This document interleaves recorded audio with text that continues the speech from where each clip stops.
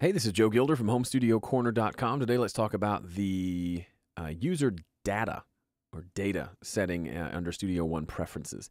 Uh, under locations, user data, uh, and there's a couple of cool things here. First off, you can choose where on your computer to save user information. So, where do your songs default to being saved, projects, and also your presets? If you save presets, which I do occasionally, where are those actually saved?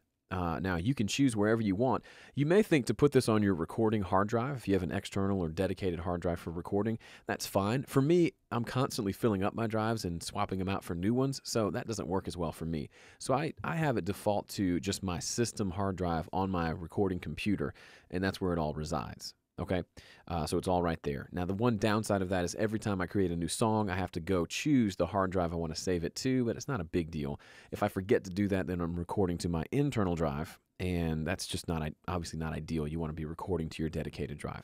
So that's the only thing. It defaults to this location for your songs, uh, but you can quickly change that when you're setting that up.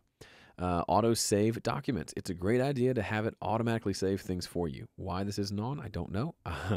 and now it is. So every five minutes is great. That way, at worst case scenario, your system crashes, you only lose the last five minutes of work, which is better than losing everything. So that's a great option. Those will be saved as automatic saves that you can recover later. And then finally, ask to copy external files when saving a song. This is really cool. Let's say you are importing multi tracks uh, from your desktop into the song, and the song is saved to your external hard drive. With this option engaged, uh, as soon as you hit save for the first time, it'll ask you, do I copy these files to the audio files folder for this project, or do I leave them where they are? And in some instances, you might want to leave them there. Most of the time, I recommend copying them over uh, because you want that kind of your Studio One folder that's created when you create a new song that has the the song file and all the audio files and everything else associated with that song. It's nice to have all that in one place. So when you back it up to another hard drive, it's all there. If you start pulling things in from different locations, it can get a little squirrely. So for you know, this may cause you to, to lose a little bit of hard drive space because you'll have different copies of things in different places sometimes. I'm okay with that because it means all my songs have everything in one folder together.